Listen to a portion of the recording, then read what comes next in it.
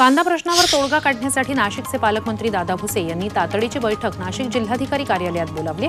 कृषी विभाग पणन विभाग तसंच इतर अधिकाऱ्यांसह चर्चा केली जाणार आहे. यात काही व्यापारी प्रतिनिधींना तसंच बाजार समिती संचालकांनाही पाचारण केलं जाण्याची शक्यता आहे.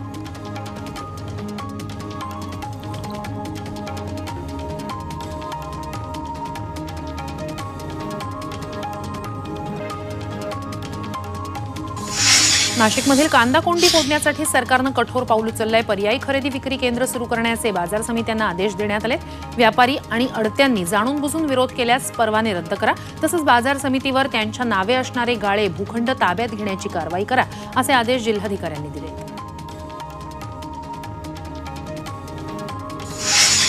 नाशिक जिल्ह्यात कांदा व्यापाऱ्यांनी विविध मागण्यांसाठी कांदा लिलाव बंद ठेवलेत. सलग दुसऱ्या दिवशीही बाजार समित्या बंद आहेत.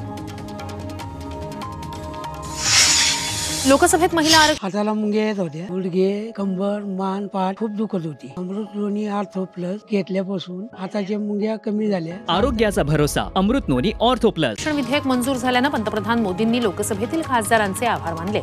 महिला आरक्षणामुळे देशाच्या मातृशक्तीची ताकद वाढणार आहे या पवित्र कार्यासाठी सर्व खासदारांनी सहकार्य केलं योगदान दिलं त्यांचं अभिनंदन असं पंतप्रधानांनी म्हटलंय.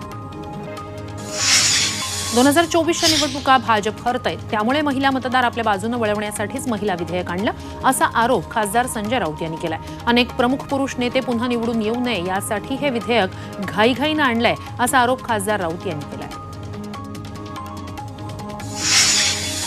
महसूल मंत्री राधाकृष्ण विखे पाटील यांनी संजय राऊत आणि बाळासाहेब थोरातांवर निशाणा साधलाय. पत्राचाळ घोटाळ्यात मराठी माणसांची फसवणूक करून कोट्यवधींची माया राऊतांनी गोळा केली. तर विखे पाटील कारखान्याच्या बदनामीच्या षडयंत्रात संगमनेरच्या माजी मंत्र्यांच्या मेहुण्याचा पुढाकार आहे असा आरोप करत बाळासाहेब थोरातांवरही निशाणा साधला.